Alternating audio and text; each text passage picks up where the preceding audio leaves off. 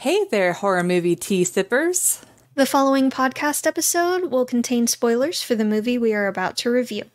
If you have not seen the movie and do not wish to have anything ruined prematurely, please do not continue to watch or listen until you have seen the movie. And welcome to the Horror Movie Tea Podcast.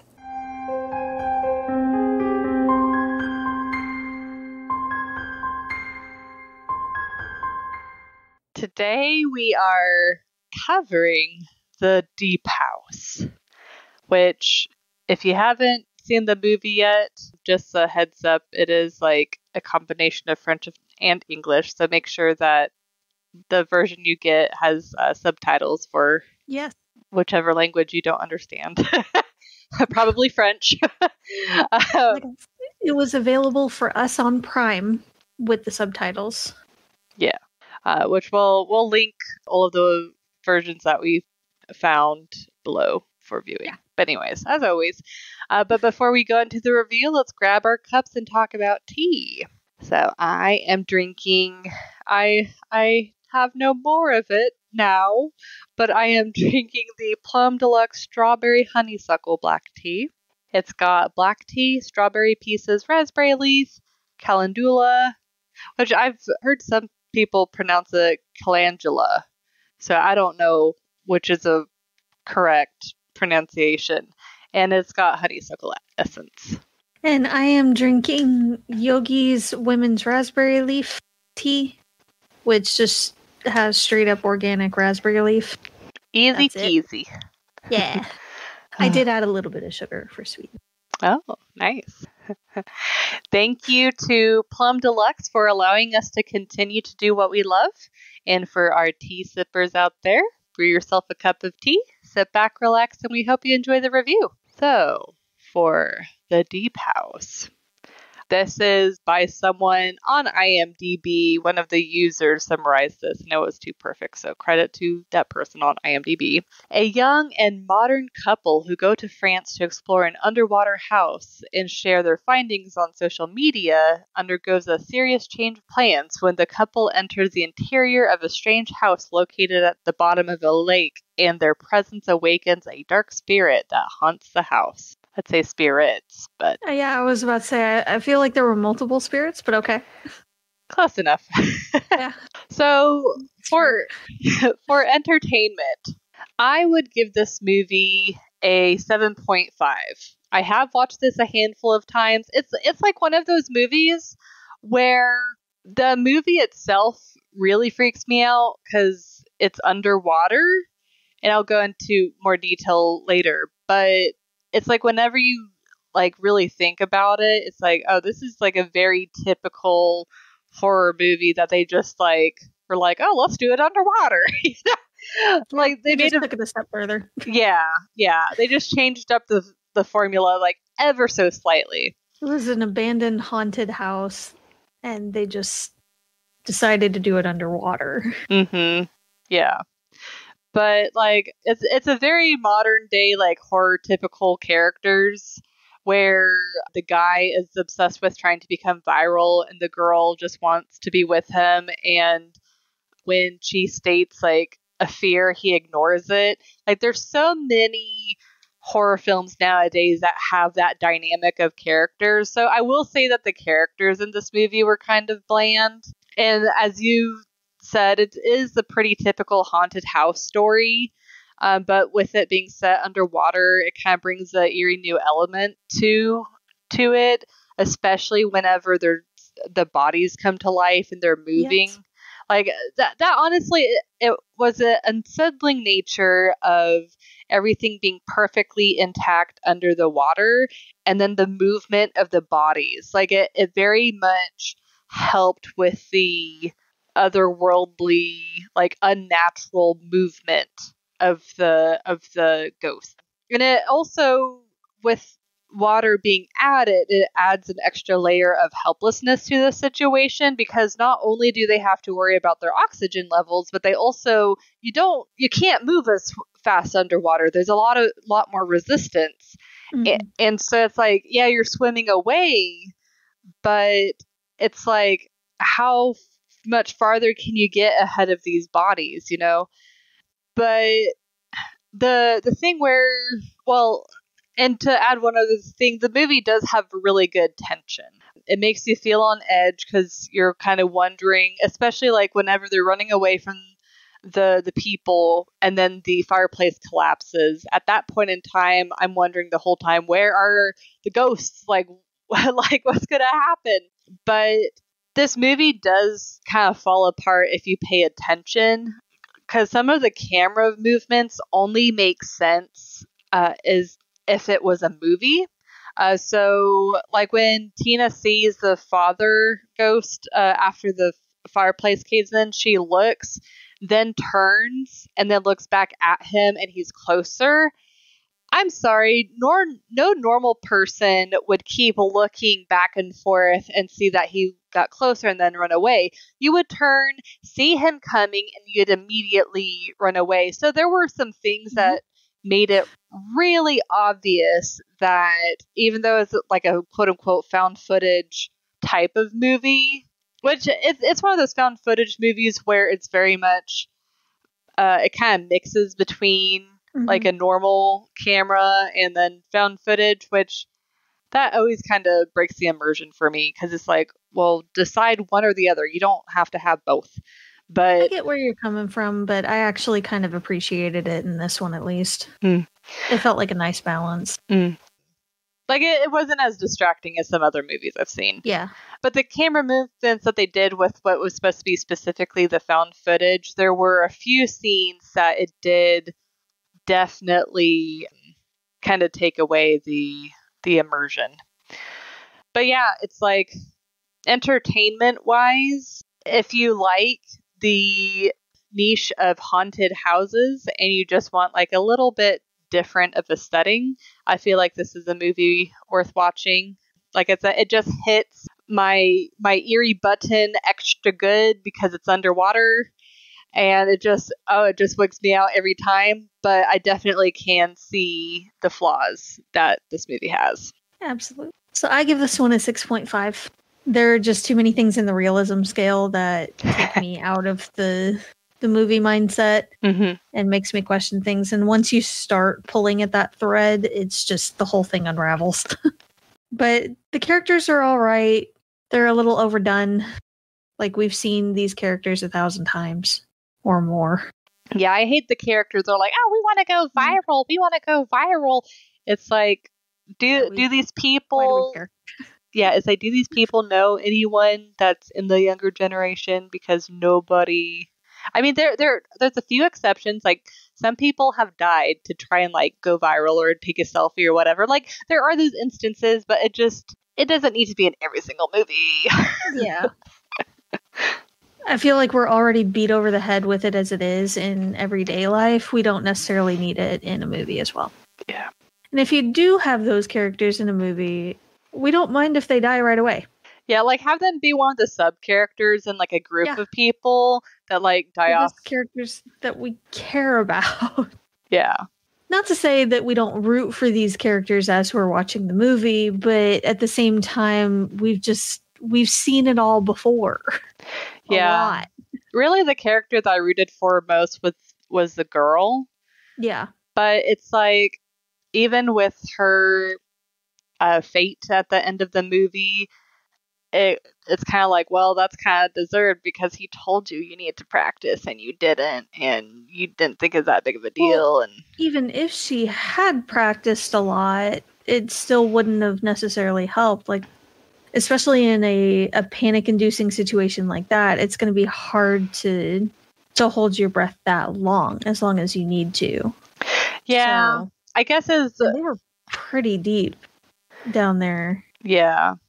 All things considered. She that's the thing that is a little frustrating and kind of sad was that she was so close. Yeah, I'm like the freedom. Like to me I'm like if she could have just held her breath for 30 more seconds yeah. 30 more seconds. She would Honestly, she probably would have only needed about 10. yeah.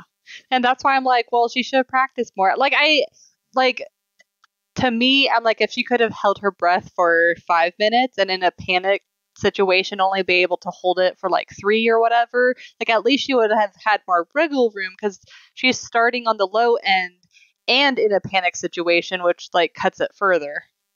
I don't know. I I gave her a pass for that because it it also takes a lot for her to have had to get out of that situation to begin with and then to claw her way through that tiny opening Yeah. from the basement to the mausoleum yeah.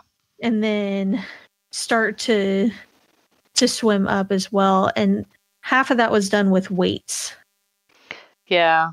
which she did take off once she was outside of the mausoleum which was good and helped her but still it just it wasn't quite enough and also i wasn't too frustrated because logically speaking even if she had reached the surface then pierre would probably have finished the job anyway Yeah, that's true. They were kind of screwed after like saying that they'd go with him. a little bit Yeah. so it's just frustrating to see that the surface was right there And also, we don't know if like maybe the bodies would have been able to swim after her, and then they pulled her under. Yeah We, like we don't know if they're actually like literally trapped in the house, or if they could have swim around the lake. Oh God. there's no telling Yeah. I'd imagine that they were bound to the house, but we don't know for sure. Yeah. So, and again, even if she had made it to shore, Pierre probably would have finished the job. So, Yeah. she would have had a whole other set of problems. so, they were just screwed no matter what. Yeah.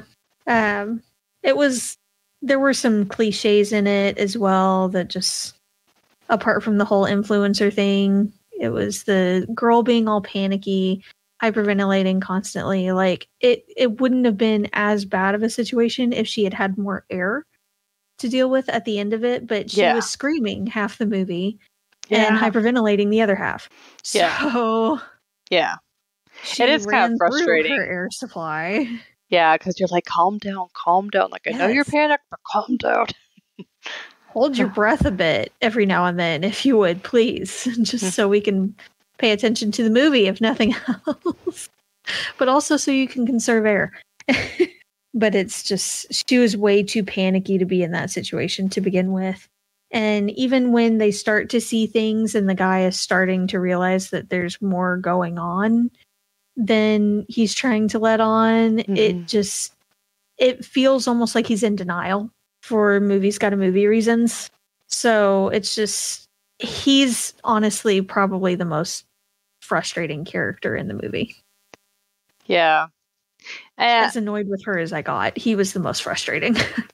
Yeah. Like, what did you think of the jump scares? Because that is one thing that I did forget to mention is there are like a few jump scares that where you're like, really? Like, then yeah, them opening the, thing to the yes, it's like there's a few that are a little bit ridiculous, Yeah. but possible. There's there's a couple that were possible and that made sense in the situation, but I feel like they still relied a little too heavily on them, Mm-hmm. especially where the ghosts were concerned. Yeah. Like they were freaky enough as is. You don't necessarily need to have the big loud noise with the scare. Yeah.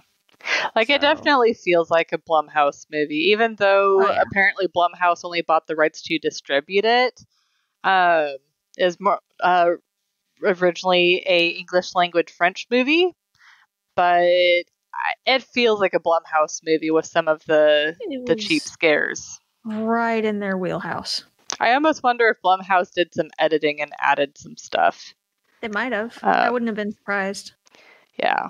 Now the the way that they moved and all was accurate. The ghosts in the place, and um, it was really well done. So the actors and actresses that that played those roles did a good job, and I appreciate it. I don't. I do because it did a good job of it. they did a great job and it looks really good and freaky and it did its job because it freaked you out. So, Yeah. you know, Yeah. Bravo to them. But that's what I got for entertainment. Okay. Well, for realism, as you said, like surface level when you watch the movie, it's enjoyable, but as you start picking it apart and the possibilities, it it slowly like unravels. Yeah. So I I think a two is pretty reasonable for the most part. It's like the spelunking stuff and uh, uh live streaming it and trying to go viral. That I can see. Um, I More actually urban exploring than spelunking. There were no caves involved. That's true. That's true. But um, I know I've actually have watched a few of those videos where they go into abandoned buildings and and explore and stuff like that. It's just interesting to me. But where it falls apart the most is well, first, I don't know how long they have been together as a couple, but I just it seems like uh he would have been able to trust her a little bit more. Like obviously, I feel like she had a good level of trust, well, somewhat trust for him because whenever he'd try and calm her down, she'd normally like try and listen and calm down. But as far as him, he just kind of seemed to like dismiss her, which I mean can happen in um, couples. I'm not saying it's not possible, but I'm just saying if they were had like a closer relationship, it just seems more likely that they would have a little bit stronger of a, a trust with each other. But you know that that's just kind of like throwing into the void the different possibilities. Um, but the the house being so intact definitely didn't make sense because they literally were flooding the area and they're telling people to evacuate. So that means that all of this flood water was coming towards it. So you would see damage from like the water hitting the house. Um, the furniture and doors would have been damaged from the wash- rushing water. Um, at most, well, at least I should say, like the the furniture and stuff staying in place would have been like pushed to one side of the wall where like the water would have like come and like pushed it uh, from the Toward the current. center if it was like a whirlpool kind of situation. Yeah, yeah. So the ha- the fact that the house was just so intact with the water, while I appreciate how creepy that was, not very realistic. Um, also, one thing that I didn't notice until this la- last watch, which really bugged me, is uh, whenever Ben, it's right after the fireplace collapses and Ben is in the nursery. Whenever the mother uh, ghost opens the door, it's very obvious that like Ben can see her, the door is open. There's no way she can't see him. And what's his choice? To go and hide under the bed. And the fact that she just like stands there pretending that she's it's like she just stands there almost like she's looking for him. And then uh, they they close out that scene with a jump scare. Like that felt way too set up. And i felt i, I think i can totally see the door slowly opening and he or like hearing or he can hear like thumping outside and then he goes and hides under the bed. Like it's a very easy fix for them but no they mother opens the door mother sees ben ben sees mother he goes under the bed. It's just ah! no. Um but yeah the the most realistic aspect to me was the scuba diving. Now jess is the scuba di- scuba diver of the group so i don't know much about it but all of the things I'm like, okay, that seems like very plausible was more like the the scuba diving aspect. But as far as like every other part of the the trip, like the fact that they were so trusting of uh what was the guy's name again? Pierre. Pierre. Okay. I was like I thought so, but I didn't want to say it wrong. Anyways, the fact that they were so trusting of him and uh like I can imagine like meeting with him a couple of times just to like build that trust or just making sure that he's not a dangerous person because there's people that prey on tourists all the time. I mean, the fact that that they went alone with him, they don't know he they he could have led them to an area that had a bunch of other people and then they could all gang up and rob them. Like there's so many different possibilities and they are just like, "Oh, we will blindly trust you. This is fine. Everything's fine." Sure. Well, we don't know you. We just met you 10 minutes ago, but we'll go with you to a secluded way out here in the middle of nowhere, hours away, without notifying anyone. And then not only are we going to leave our vehicle here, we're going to hike a couple more miles Yes. to a That- different location. He could have killed them and hid the bodies, and no one would know.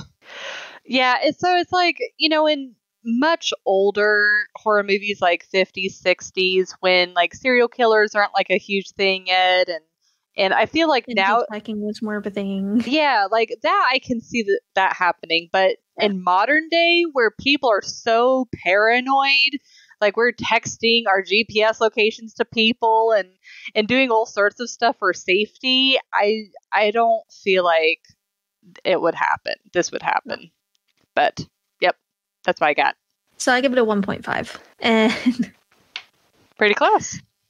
it's just, again, when you start pulling at little threads that are sticking out, the whole thing unravels. So, them following Pierre after having just met him Yeah. and talked to him for like five minutes, maybe. They're going to go driving with him for God knows how long to an undisclosed location without telling anyone where they are, where they're going, who they're with, anything like that. Yeah. And then they're going to leave their vehicle and hike with their equipment for a couple miles. And then they're just expecting Pierre to hang out and wait for him for however long, about an hour or so, while they're scuba diving, so that he can potentially guide them back to where they were, back to their hotel or wherever. Like that just seems so sus. Like he's too nice, you know? Yeah. Yeah. I mean, they said it was for a fee.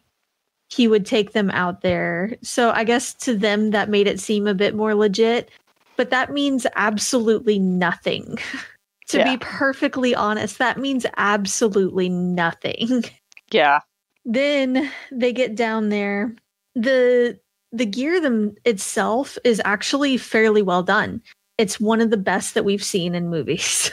like it's an actual mask that has the um the ability to talk. And they do have the things on their ears so they can hear each other, which is lovely. And like a certain 47 meters down. And countless others. Yeah. Yes. So this was actually really nice. Um, the fact that they had to shield different things, like they were using GoPros and all, but they had a, a bigger camera on their their drone, and they had to shield it with a case, like mounted casing. So that was nice.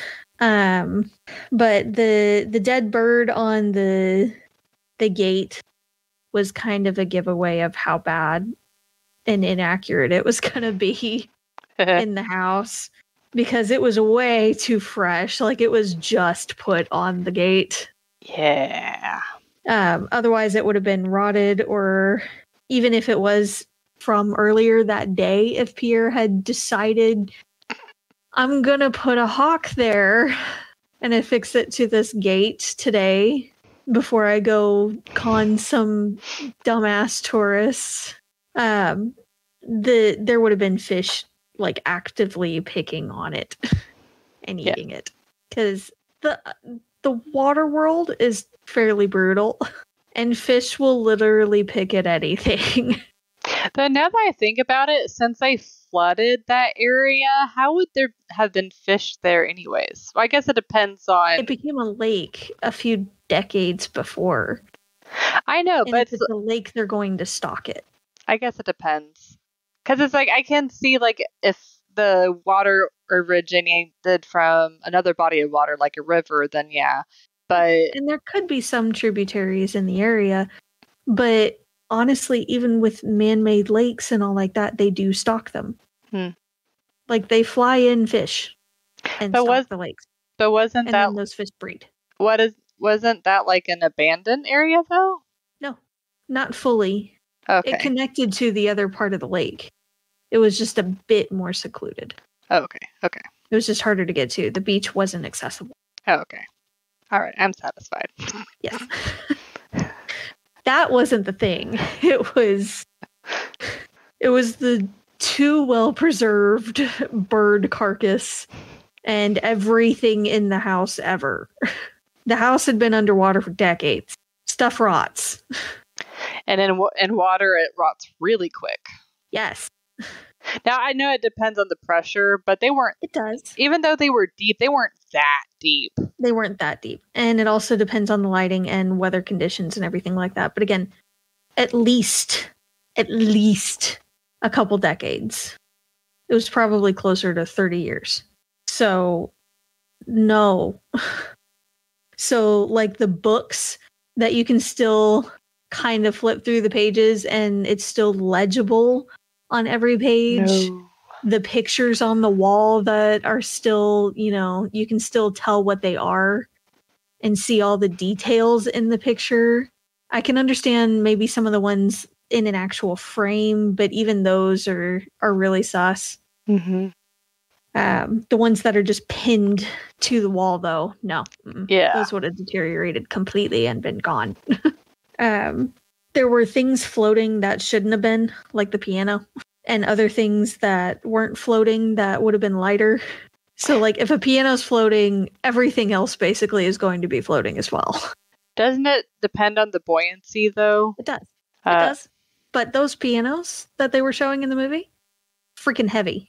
Yeah, no, I'm not. I'm not disputing that the piano wouldn't be. Yeah, I'm uh, just pointing out the inconsistencies yeah, of like the table nearby was firmly planted yeah, and not moving, but the piano a little ways away was halfway up the wall. yeah. So no. Um and a lot of things would settle anyway. Um Mm-hmm. the barrier in front of the front doors was metal and should not have had fingernail markings on them. Just saying. If it was wood, I can understand, even though it would have been rotted away. But it was metal and shouldn't have had the fingernail markings.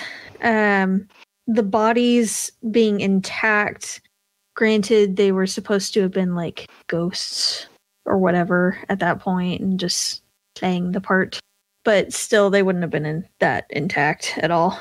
Um, I totally and should have mentioned that too, but oh well, you got it. even if they were actual bodies, the dude is a total a hole and a dumbass for continuing to film with the intention of posting it. Honestly, most platforms, if not all, wouldn't have allowed it anyway. Oh yeah, like whenever that shit gets posted online, it's down within hours. Yes. Yeah. So, no. Um, even if they had the express permission from next of kin to post it, it Mhm. still would have been taken down. Yeah. So no. Um, again, the way the the bodies did move in the water was perfect. Honestly, well done. was no. Um, but it, the the girl had no business scuba diving at all. Honestly, yeah. she was she was not as experienced as she should have been. She was too panicky. If she's that panicky, then she shouldn't be going down there. Yeah. Here. It's like one of those things where it's like they obviously were optimistic and was like, oh, nothing's going to go wrong. But it's like you have to plan for Yeah. the worst. Yeah. Yes. And with the buddy system, which you really should not be diving alone ever, if you can help it, um, then he should have found a better partner to go down there with, honestly. Yeah. Um, also, I know it was a little closer to the beginning, but when she gets her flipper stuck on the tree Oh, branch, I don't understand how she even managed that. it was so perfect. Perfectly honest. Yeah. and that was a clear indication that she should not have been down there. just saying. But yeah, it there was just too much in the house that I was sitting there like, well, that's not right, or that's not realistic, or that definitely wouldn't happen. That's some BS. so it just it really takes out the immersion for me when I see a lot of that stuff. A few things here and there, okay, yeah, fine. hmm But when you're going through the entire house and all of it is just no, Yeah. then it becomes a problem. And yeah, it just brings it down. Yeah. So this one, it was all right, and I'll probably watch it again at some point because it is it's decent with some good scares hmm or some good tension, but it overall just kind of falls a little bit short for me. Yeah, like like if you really think about it, it's just an okay movie, but the underwater element does make it a lot more interesting to watch at least once. But yeah, it's like it's got bland characters, the story is kind of bland honestly, and it I feel like it's one of those where unless if you're very specific like me and you find otter, underwater stuff creepy, you're probably not going to go back and watch this one again.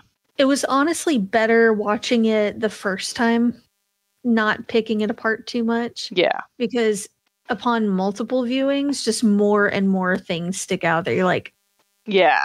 that's not right. That's not realistic. That's not how that would go. Yeah. I mean that's like the um the whole like camera movement. I didn't watch or notice that until like the third or fourth watch. Yeah. But yeah, it is. so yeah. this is one of the few like the the less you watch it, the better, Yeah. probably. Yeah. You'll you'll remember it more fondly if you watch Yes. it only once or twice. Yes. Yeah. But thank you so much for joining us today and let us know what you thought of the movie. If you'd like to recommend a movie, game, or tea, you can leave us a comment or join our Discord server. And if you'd like to keep up to date with our content, you can find our link tree listed below. If you'd like to support the podcast, please subscribe, like, and share our content. We also have a Teespring and a PayPal donate button if you'd like to support us monetarily, and our Plum Deluxe affiliate link will be down below as well. It does not affect the price of the tea, it just helps us to continue to do what we love. And you can find all of the sites mentioned linked below. Until the next time, guys, stay safe and stay spoopy. Bye.